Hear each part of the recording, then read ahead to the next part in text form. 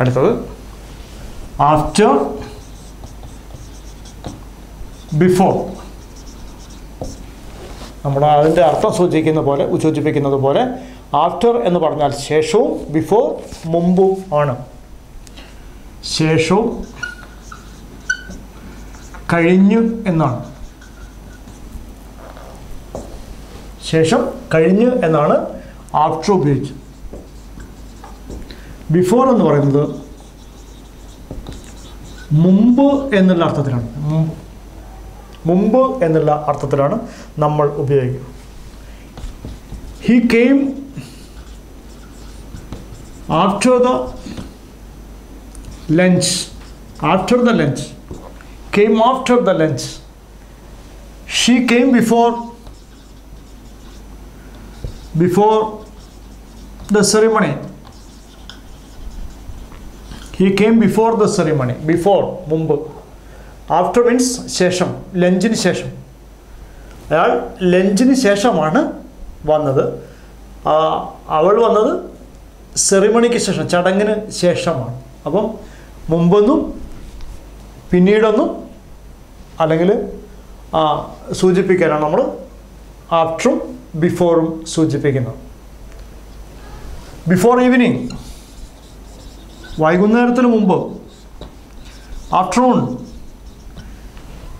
ഉച്ചയ്ക്ക് ശേഷം ഇത്തരം കാര്യങ്ങൾ നമ്മൾ ആഫ്റ്ററും ബിഫോറും വെച്ച് പറയുന്നു.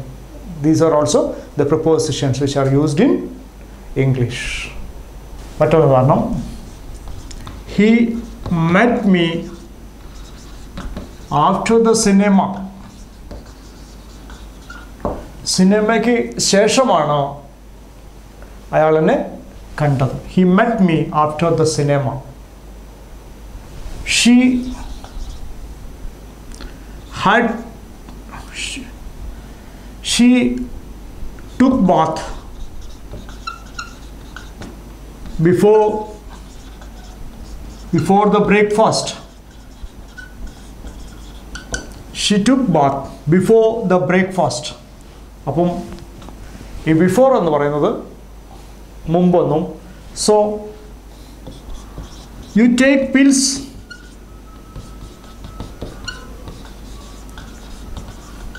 Before your food. Before your food. So you take pills before your food. So you drink water.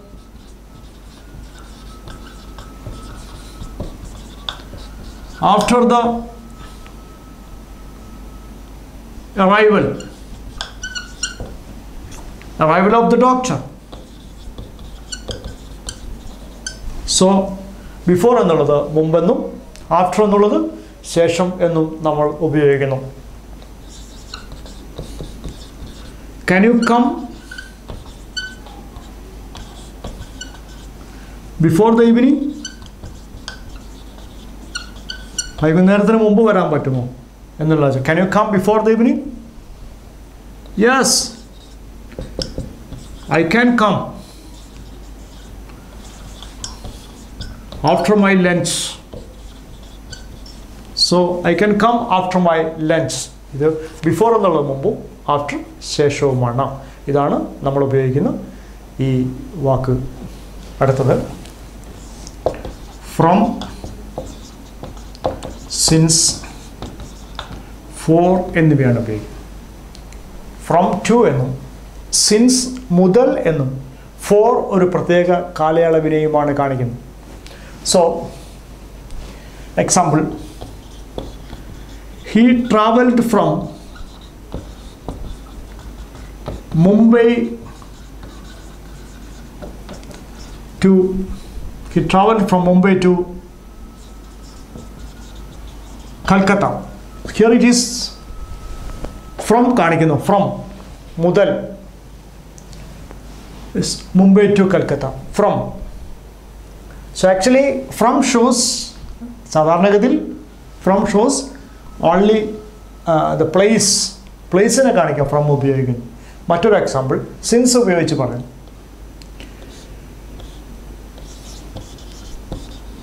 She has been travelling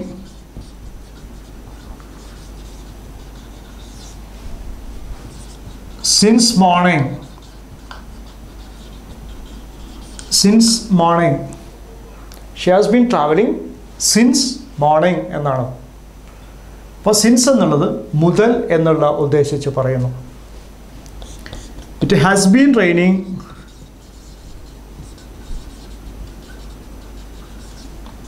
since yesterday night. Since yesterday night മുതൽ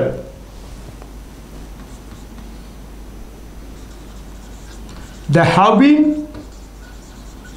staying here since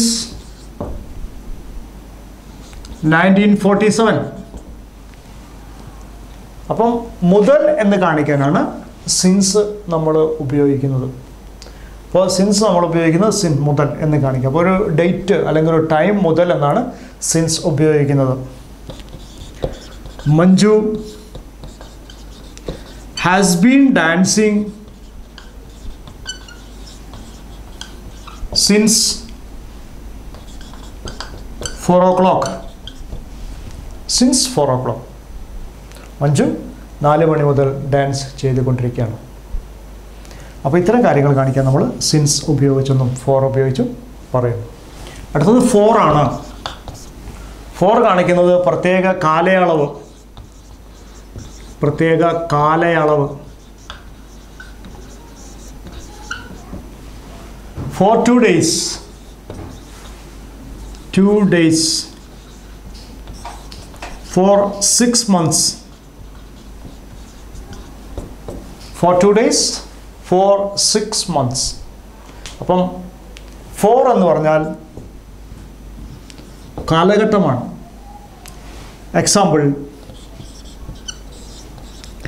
Raju has been singing a song for three hours for shows a particular period 4 shows a particular period. 3 hours 6 months 2 days ഇവയൊക്കെയാണ് for ഉപയോഗിച്ച് പറയുന്നത്. Four മറ്റൊരു കാര്യം നമ്മൾ വേണ്ടി എന്നുള്ള രീതിയിൽ നമ്മൾ പ്രപ്പോസിഷൻ ഉപയോഗിക്കാം. ഫോർ ഹിം അയാൾക്ക് വേണ്ടി. ഫോർ ഹും ആർക്ക് വേണ്ടി? ഫോർ ഇറ്റ് അതിനു വേണ്ടി. ഓ ഫോർ വേണ്ടി എന്നുള്ള അർത്ഥത്തിലാണ് നമ്മൾ ഉപയോഗിക്കുന്നത് ഫോർ ഫോർ അപ്പം സിൻസും ഫോറും നമ്മൾ ഇത്തരം കാര്യങ്ങൾക്ക് വേണ്ടിയാണ് ഉപയോഗിക്കുന്നത്. For indicates a particular period and sin in since indicates a particular time for yes മറ്റൊരു എക്സാമ്പിൾ ഫോർ ഹും ഫോർ ഹും ആർക്ക് വേണ്ടി? So we are producing the products for whom? The persons who are who have the capacity to purchase it. For Vendi. For the people. For the people. ജനങ്ങൾക്ക് വേണ്ടി for the creation സൃഷ്ടിക്ക് വേണ്ടി four Manju മഞ്ജുവിന് വേണ്ടി for the real people യഥാർത്ഥ ജനങ്ങൾക്ക് വേണ്ടി. For increasing the demand for increasing the demand for എന്നുള്ളത് വേണ്ടി എന്നുള്ള അർത്ഥത്തിലാണ് നമ്മൾ ഉപയോഗിക്കുന്നത്. മറ്റൊരു ഉദാഹരണം. For not for sale not for sale വിൽപ്പനയ്ക്ക് വേണ്ടി ഉള്ളതല്ല. ഫോർ സെയിൽ വിൽപ്പനയ്ക്ക് വേണ്ടിയുള്ളതാണ് ഫോർ അഡ്ജസ്റ്റ്മെന്റ് ഒരു ധാരണയ്ക്ക് അല്ലെങ്കിൽ അഡ്ജസ്റ്റ്മെന്റിന് വേണ്ടിയിട്ടുള്ളതാണ്. ഒരു അങ്ങോട്ടും ഇങ്ങോട്ടുള്ള adjustment for for the nutrition nutrition പോഷകാഹാരത്തിന് വേണ്ടിയിട്ട്. For your good health for your good health we are we are when we are advising a particular person please stop your smoking habit. For what? For whom? So we can tell for your health. For your health. For your health. For എന്നുള്ളത് വേണ്ടിയെന്നും four എന്നുള്ളത് ഇത്തരം കാര്യങ്ങൾക്ക് വേണമെങ്കിൽ നമ്മൾ for ഉപയോഗിച്ച് പറയുന്നു next between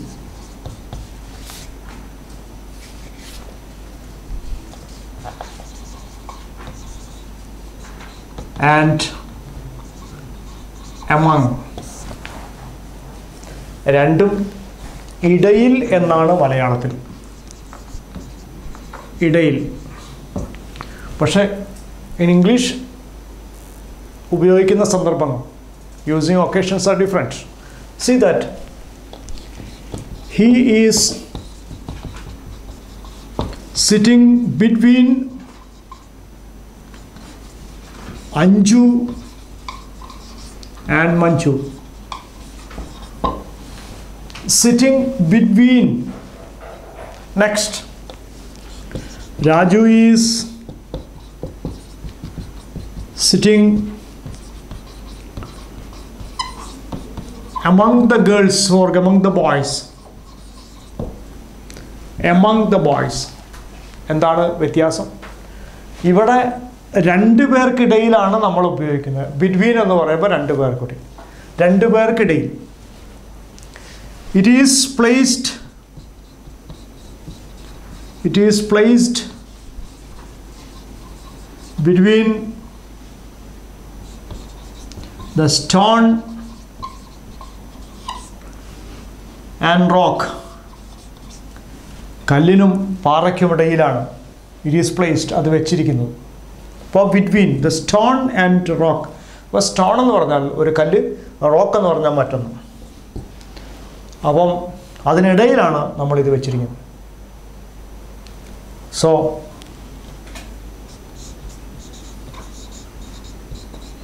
Indu is sitting between Rani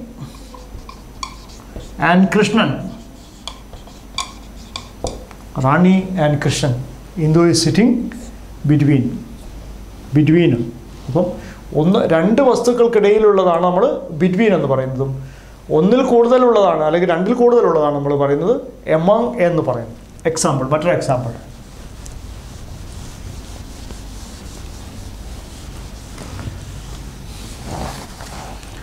Buddha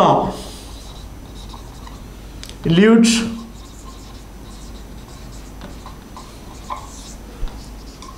among the poor people Buddha lived among the poor people.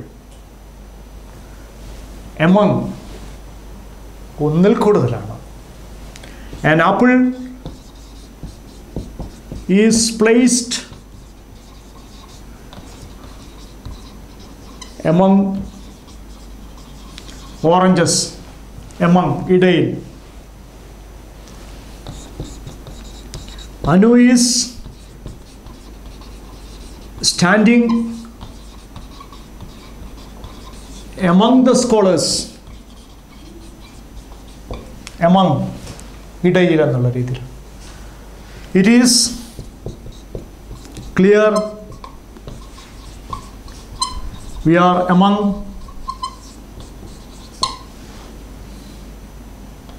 the police അത് വ്യക്തമാണ്. നമ്മൾ പോലീസിനിടയിൽ. പോലീസിനാണ്. It is done so we are standing among thieves. It is done. So we are standing among the thieves. So it is called so among എന്ന് പറയുന്നത് ഇടയിലെന്നും between എന്ന് പറയുന്നതും ഇടയിൽ തന്നെയാണ്. പക്ഷേ അത് രണ്ട് വ്യക്തികൾക്കിടയിൽ രണ്ട് സാധനങ്ങൾക്കിടയിലൊക്കെ പറയും. നമ്മൾ ബിറ്റ്വീൻ എന്ന് ഉപയോഗിക്കുന്നു. മറ്റത് എമങ് എന്നാണ് നമ്മൾ